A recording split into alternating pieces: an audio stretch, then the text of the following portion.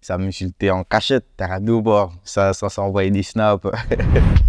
Bon, la famille, c'est Kamal Bomaye. Aujourd'hui, je suis avec Chourou. Tout se passe ici, la famille.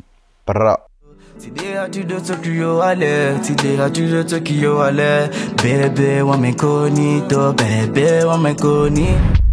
Alors la famille, c'est Kamal, je suis un artiste maoré et je fais de la drill, de la zumba, je fais, je fais de tout.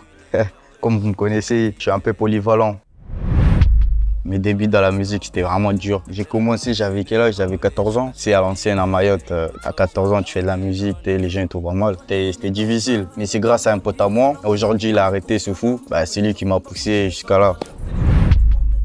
Moi, en vrai, c'est euh, partager ma passion. Avant tout, c'est dire en mode mes délires, tout ça. Tout ce que je fais dans la musique, ça, c'est des délires. Et dire, c'est des trucs euh, que je fais ici, c'est des délires.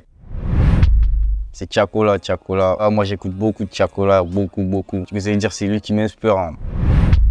C'est plus avoir un bon ingé, une prod, avoir la motivation surtout.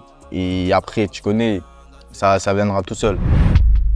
Dans mon entourage, c'était pas trop ça, hein, parce que tu connais à l'école, je prenais que des zéros, mon frère. Du coup, j'allais dire, c'était plus la concentration, tu sais, ils me cassaient un petit peu les couilles, mais tranquille. Mais après, dès qu'ils ont commencé à me voir à la télé, ça a changé les discours. Du coup, j'allais dire euh, c'était plus euh, force, force, force, donner la force, tout ça. Mais après, dans l'ensemble, pas mal.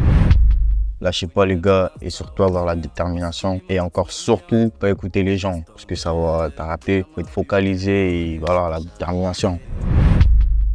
Je je serai toujours dans la musique. Hein. Sais tout, j'aime trop la musique, c'est une dinguerie, moi j'aime trop danser. Tom, je Kamalim, je vais la musique Angelo. Allez, prenez soin de vous la famille. Bisous. Mtaa 06 matosi ni short my G Hey, kama legal bomai matosi ni short my G Hey, cardiac joueur la